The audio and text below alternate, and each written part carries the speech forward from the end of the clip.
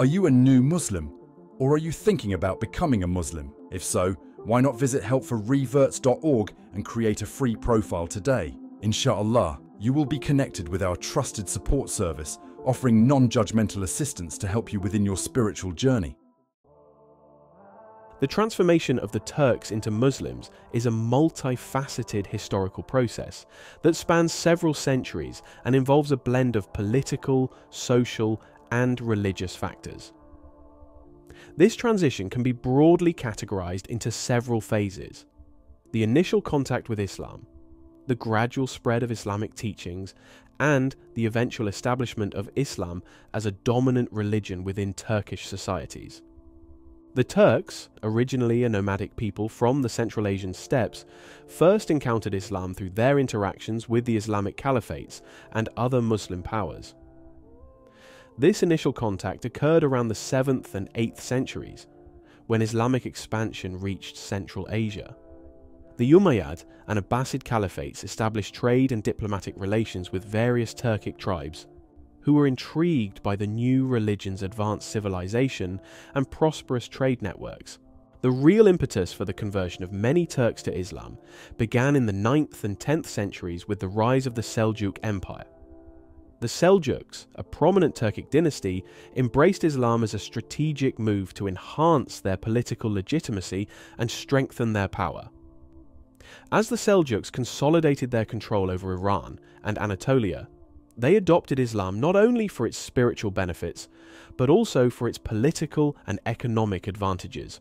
The Seljuk conversion to Islam facilitated the integration of Turkish society into the broader Islamic world.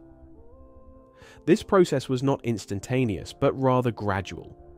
The Turks began to adopt Islamic customs, legal practices, and cultural norms while retaining some of their traditional Turkic practices. This syncretism helped ease the transition and made Islam more accessible and appealing to the Turks.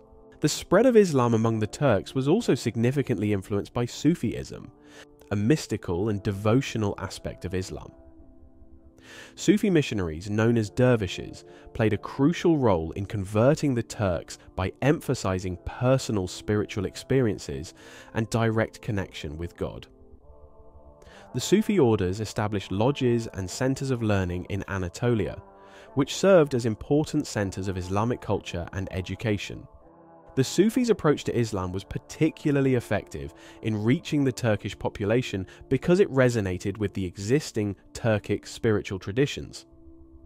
Sufi teachings often incorporated elements of Turkic shamanistic practices, making the transition to Islam smoother for many Turks.